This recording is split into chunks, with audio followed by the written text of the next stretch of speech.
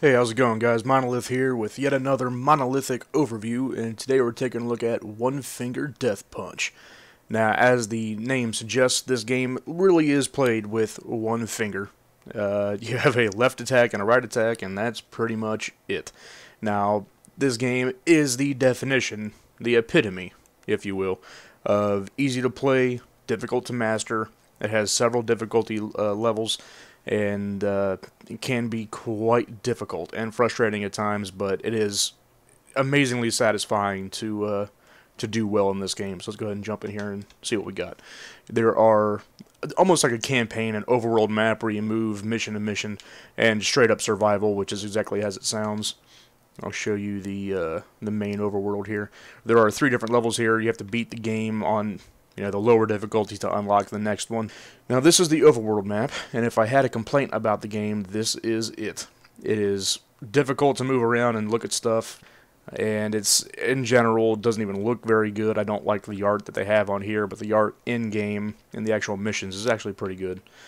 But uh, we'll go ahead and jump in here and, and take a look at a quick mission see here, defender round. There are several different game modes. Uh, as you can see on the top, you see boss round, defender round, mob round, daggers, speed round. There's all different kinds of variants, but the mob round is, is kind of where the game shines.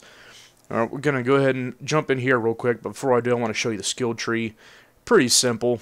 Uh, you just kind of unlock them as you go through missions and, and gain uh, medals, which there are four different levels to medals. You have um, platinum, which is not missing a single attack, gold, which is 1 to 3, silver is 4 to 6, and bronze is 7 to 9.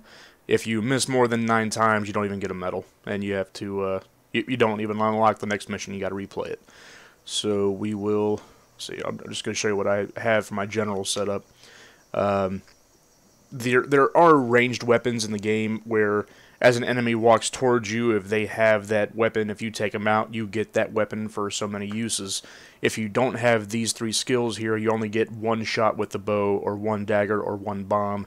Uh, but each of them are one-hit kills. So even if, uh, and I'll show you here in just a second exactly what I'm talking about, when you're going through the level, there are different levels of enemies that uh, react differently to you. There are some that are just extra strong that take multiple hits. There are others where they will dodge your first attack and switch sides, so you have to switch from right attack to left attack. Uh, but equipping these three definitely helps you progress a lot quicker. Uh, like I said, even the the semi mini bosses that show up in there, where it's actually a bit of a scripted fight, um, even these will will take them out in one hit. And uh, and extra health never never hurts. So that explains the layout there, the loadout, if you will. Let's go ahead and jump in here. This is just a regular mob round. Now, as you can see, you have enemies coming from the right and the left. When they enter the gray zone there is when you actually are within range. There's the daggers. Here's one of those mini bosses. Now, I am playing with a controller. It is perfectly playable with a keyboard. I just prefer a controller. It's what I'm used to. Now, there are weapons like you can see there, when you pick up a weapon, it increases. That's cool X-ray attack.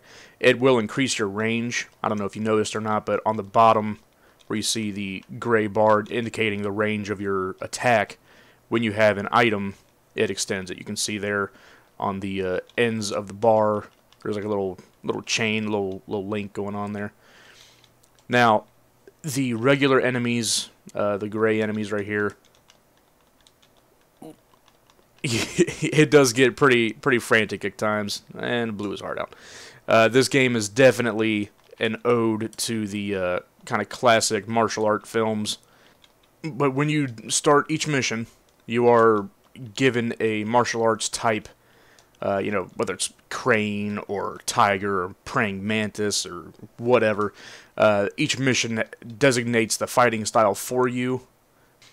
Now you can uh, the enemies will throw weapons at you, and you can basically, by attacking the weapon when it's within range of you, you can grab it.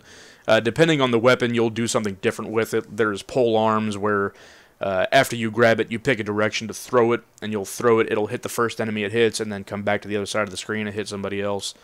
Uh, as you see there, I got a bronze, which is awful, but but um, I guess it's to be expected doing this kind of thing. I'll tell you what, let's jump into a survival. Now, there are different kinds of survival. Uh, you unlock them by playing survival, kind of like the difficulties. You play the easier one to unlock the difficult ones. Now, the game, when you're playing through the campaign, and even through here, when you accomplish certain things, like, you know, taking out so many enemies in a certain amount of time, stuff like that, the game will react to you and increase the speed at which they come at you based on how well you're actually playing, which is kind of interesting. It's it's a reactive and adaptive kind of uh, difficulty. Now this ball here is the bouncing ball of doom, which I just missed because I grabbed that weapon, but um, those are a lot of fun. They are one-hit kills that uh, you actually have to punch the ball towards an enemy, and then if it hits an enemy, it will come back to you, and you can you know chain that into some pretty impressive combos and you know, and generally just feeling badass, being able to pull off, you know, a 19 kill streak with the uh, the bouncing ball of doom. But uh, like I said, this game is simple on the surface and extremely difficult. Uh, you know, at, at later levels, definitely easy to pick up. I mean, obviously easy to understand what it is you have to do. You got two buttons to press. It's not that complicated. But being able to pull it off at higher difficulties um, in a meaningful way too. I mean, you see all these weapons I'm grabbing out of the air there. This is a light sword round. Um, when you're doing survival, it will automatically do these little sequences for you. Uh, the the purpose being that if you make it through these little rounds, you will yeah like that guy right there, the white ones. Uh, you can attack them to gain health, which is just like a, a little mini game basically in the middle of survival mode to kind of keep you going to give you a chance to pick up some health to be able to keep going through the actual survival part. You know, the, the animations for the actual fighting styles are very well done. Uh, and you actually do feel like a martial arts master landing these hits because of the way that the uh, enemies are reacting to you and the way they get, you know, thrown across the map and whatnot. Well, anyway, guys, it pretty much wraps this up. I think you got a good idea for what One Finger Death Punch has to offer. It is a, a love note to classic Chinese and you know Japanese martial art films from back in the day. Uh, you know, all the different fighting styles are exactly as you would expect and would hope if you're a fan of martial arts. Anyway, guys, my name is Monolith. That's been another monolithic overview, and as always, have a nice one. Take care.